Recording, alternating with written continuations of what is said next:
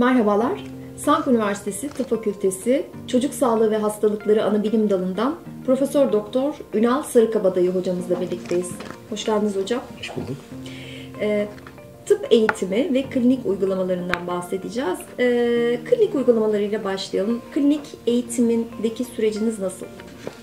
E, tıp fakültesi eğitimini üç ayırabiliriz. İlk üç yıl klinikle entegre temel dönem olarak adlandırıyoruz. Bu dönemde e, öğrencilerimiz aldıkları teorik eğitimlerin yanında e, simülasyon laboratuvarında bunları e, pekiştirme şansı bulmaktadırlar.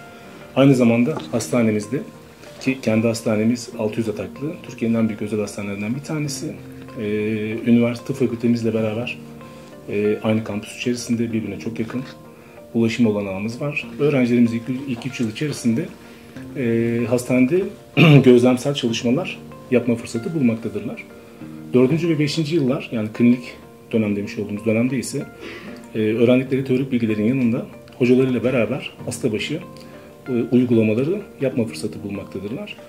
E, 6. sınıf demiş olduğumuz intern dönemi artık mezuniyet öncesi son dönem artık bir şekilde e, hekimlik öncesi son dönemeç diyebiliriz. Bu dönemde ise birebir yaptıkları uygulamaları ki bunları yaparken de mutlaka hocaların gözetiminde yapmaktadırlar. Yaptıkları uygulamalarla da artık hekimlik dönemine adapte oluyorlar. Peki hocam, tıp fakültesinin akreditasyon süreci içerisinde olduğunu biliyoruz. Hı hı. Ee, bilmeyenler için soruyorum. Akredite olmak ne demek?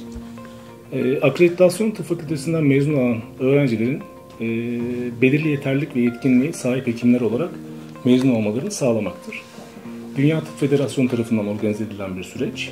E, amaç verilen eğitimin hem standartize hem de sürdürülebilir olması hedeflenmektedir.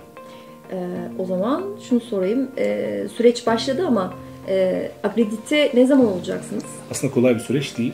E, ciddi bir çalışma ve emek gerektiren bir süreç. E, ama önümüzdeki yıl içerisinde akredite olmayı planlamaktayız.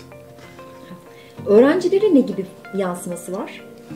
Bir kere standartize, bütün dünyada standartize edilmiş, e, temel hekimlik uygulamaları anlamında, teorik eğitimler anlamında standartize edilmiş bir eğitim almalarını sağlayacak.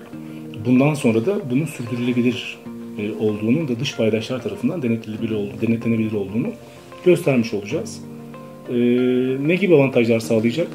E, normalde öğrencilerimiz bütün dünyada hekimlik yapabiliyorlar. Yalnız 2023'ten sonra Amerika akredite olmayan tıp fakültelerinden mezun olan öğrencilerin kendi sınavlarına girmesini istemiyor.